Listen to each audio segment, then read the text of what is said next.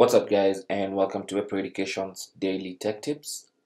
In today's tech tip we're learning how to be invisible on Discord.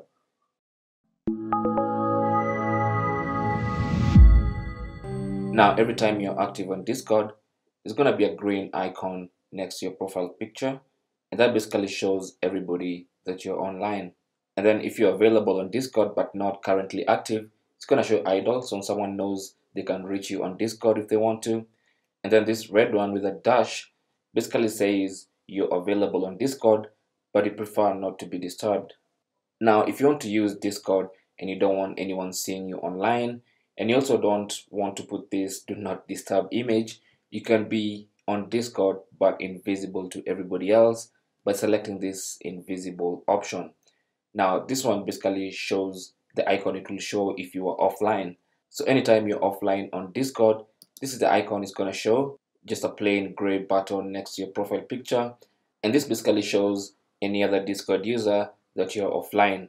But you can be online like I am on Discord and use Discord while still appearing offline.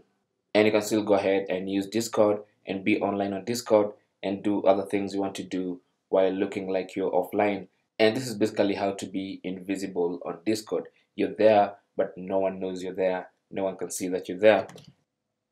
And you can also do this on the Discord app on your iPhone or Android device. Simply launch the app and then you want to tap on your profile icon in the bottom right side.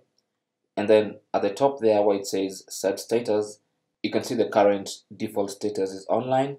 So I can tap on that and then I'll change that to invisible.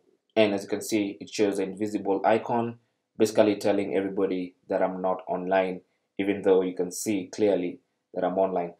Now, when you're done needing to be invisible on Discord, you can simply come back and put the default, which is online, and that will set it back to the default. And that's basically how to be invisible on Discord. Thanks for watching. You can leave your comments and questions down below. Don't forget to share and subscribe for more tips.